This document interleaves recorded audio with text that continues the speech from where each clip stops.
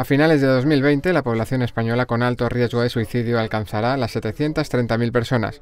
Así se desprende de un estudio matemático desarrollado por investigadores de la Universidad Politécnica de Valencia. El trabajo se basa en la aplicación de un modelo dinámico de poblaciones descrito por ecuaciones en diferencias. Son ecuaciones que se llaman en diferencias finitas, mm, en este caso no lineales, donde los coeficientes eh, se calculan de una manera aproximada, los, que son inciertos, porque algunos coeficientes son inciertos, se simulan si varían en un, rango, cómo varía la respuesta, ¿no? para tener, y, siempre hemos sido eh, prudentes, pecando por exceso para no inflar las cifras. El estudio divide a la población española con edades comprendidas entre los 16 y los 78 años en cuatro grupos, en función del nivel de riesgo y abarca desde julio de 2015 hasta diciembre de 2020.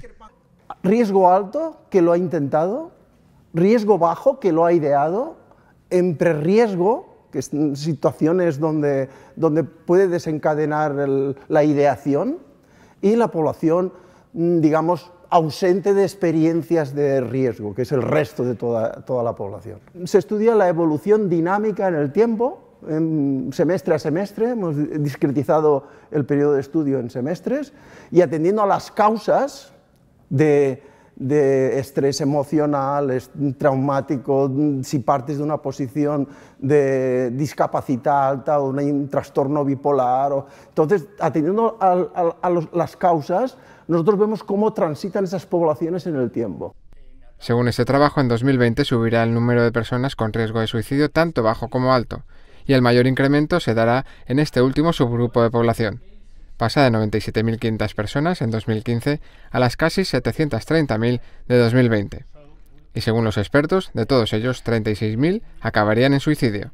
Los expertos asignan que por cada 20 intentos uno se suicida. Eso significa un 5%. Entonces, si en la población de alto riesgo tú calculas el 5%, te sale una cifra que probablemente no es la oficial, pero sí que es la que más se acerca a la realidad de los casos de suicidio, que son unos 36.000. Este estudio se presentó la semana pasada en el marco de un congreso internacional celebrado en la Universidad Politécnica de Valencia.